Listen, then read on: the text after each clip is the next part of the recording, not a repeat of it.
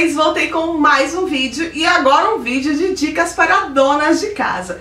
É isso mesmo, vocês sabem que eu sou dona de casa e trabalho em casa, então é muito importante que a minha casa esteja organizada, porque senão, gente, eu não funciono com casa bagunçada. Eu tenho um lema que eu não consigo gravar se minha casa estiver desorganizada ou até mesmo suja. Eu fico incomodada, sabe? Eu não consigo tirar tudo daqui onde eu tô gravando e colocar ali e falar assim, não, vou gravar. Eu preciso primeiro dar uma organizada na casa para depois produzir o conteúdo aqui pro canal. Então, visto isso, visto dessa minha necessidade de manter a casa sempre organizada pro meu trabalho e até mesmo pro bom andamento daqui, né, dos meus filhos, da minha casa, do meu marido e tal, eu vim trazer cinco dicas que eu aprendi, que eu tenho tentado colocar em prática aqui em casa Pra manter tudo sempre bem limpinho, sempre organizado, tudo no lugar e que tem me ajudado bastante, tem facilitado bem o meu dia a dia. Então se você quer conhecer as minhas 5 diquinhas pra manter a casa organizada, vem comigo. Gente, antes de dar as 5 diquinhas aqui do canal de como manter a casa organizada, eu vou pedir pra que vocês se inscrevam aqui no canal, deixe aquele like do amor, porque nós estamos no especial de 10 casas aqui do canal, onde está rolando aqui vídeo todos os dias dessa semana. Então já se inscreva aí no canal para que você não perca nenhum vídeo e Vamos lá! A primeira dica das cinco dicas que eu vou dar pra vocês é tudo tem que ter um lugar certo. Gente, pra manter uma casa organizada, principalmente uma casa como a minha que é cheia de coisas, cheia de, de, de fofurinha, é importantíssimo tudo ter um lugar certo. Por quê?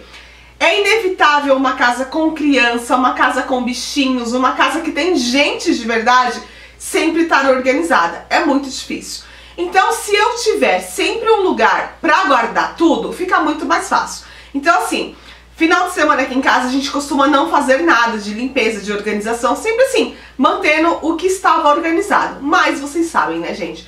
Final de semana, correria, tal, segunda-feira a casa tá um caos. Quando é segunda-feira de manhã, eu sempre saio colocando tudo no lugar certo. Então, tudo que tiver uma casinha é muito mais fácil. Então se ficou um brinquedo ali, eu sei que aquele brinquedo tem a caixinha de brinquedo, então eu vou voltar para a caixinha dele. Se tem um, um, produto de beleza ou um sapato, é muito importante tudo ter uma casinha certa, porque fica muito mais fácil a organização, porque não adianta nada eu pegar uma baguncinha que está aqui na sala e levar lá pro quarto se ela não tiver lugar certo para ser guardado. Então, primeira dica que eu dou para vocês é sempre ter um cantinho para cada coisa, sempre ter uma casinha para cada item que fica muito mais fácil a organização. Segunda dica que eu aprendi muito e tem me ajudado muito, gente, muito mesmo, faz bem diferença. O dia que você começar, você vai perceber que faz diferença mesmo. É dormir com a cozinha limpinha. Gente, não tem nada mais libertador do que você acordar e a sua cozinha tá limpinha. Isso é um hábito que você vai adquirindo. Eu não tinha esse hábito. Eu converso pra vocês que eu tinha uma preguiçinha de lavar louça à noite, de manter ali a cozinha limpinha, mas já se tornou um hábito. Então eu tô ali fazendo janta, já tô lavando a loucinha que eu tô sujando. À medida que eu vou lavando, terminou de fazer, já todo mundo terminou de comer, eu já lavo a louça, já limpo o fogão. Se der, se for necessário, eu já também já dou uma varridinha na cozinha, já passo um paninho.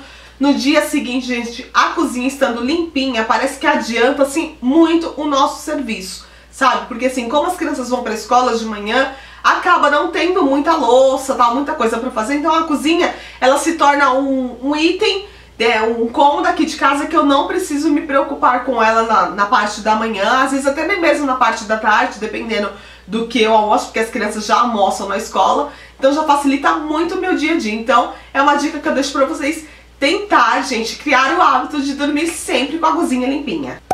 Terceira dica que eu dou pra vocês, tente sempre dedicar 15 minutos do seu dia para a organização da casa. Às vezes, dependendo do dia, tipo, né, eu sempre dou exemplo da segunda-feira, você tem que demandar um pouquinho mais do que 15 minutos. Mas 15 minutos, vamos supor, antes de você ir dormir. Então, aquela, aquele momento que a casa tá mais silenciosa, todo mundo já foi dormir, dedique 15 minutos do seu dia pra dar aquela geralzona na casa, tirar tudo que tá fora do lugar, guardar na sua casinha.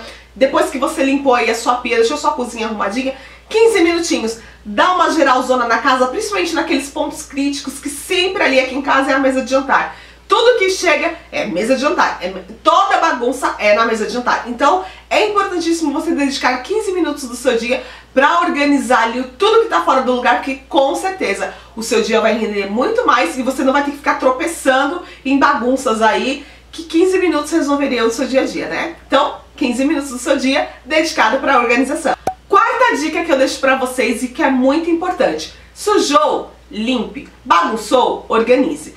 Uma coisa que eu aprendi muito com a Tassiele uma vez, logo nos vídeos dela aí quando ela veio morar em São Paulo, que assim, enquanto ela tava escovando o dente, ela disse que ela já ajeitava a pia do banheiro. Então, ia guardando alguma escova de cabelo, alguma coisa que tava fora do lugar. Então, assim, aproveite essas oportunidades que você tem também para organizar a sua casa. Então, gente, Sujou um copo? Vai lá e já lava. Porque se você suja um, daqui a pouco você suja outro.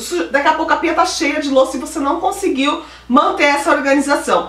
Caiu alguma, um farelinho, alguma coisa, vai e limpa. Porque quanto mais você acumula para depois, maior é a bagunça que fica na sua casa, maior é a sujeira, maior fica tudo para você organizar no dia da faxina. Então, o dia da faxina, quanto menos bagunça e quanto menos sujeirinha besta você tiver, você vai ser muito mais útil e muito mais prática né, nas atividades da sua casa. Então, sujou, limpe, bagunçou, arrume. Tente colocar isso na sua vida. Eu tenho tentado colocar na minha, gente, e é libertador. Porque de repente, assim, tudo que você faz muito mais ali na hora, acumula menos e te cansa menos para depois. Então, essa é a minha quarta dica. E quinta e última dica, mas não menos importante, eu acredito que é até mais importante, delegue tarefas. Gente, eu sou uma família relativamente grande, então sou, é eu, meu marido e mais dois filhos. Meu filho tem 10 anos e minha filha tem 7 anos.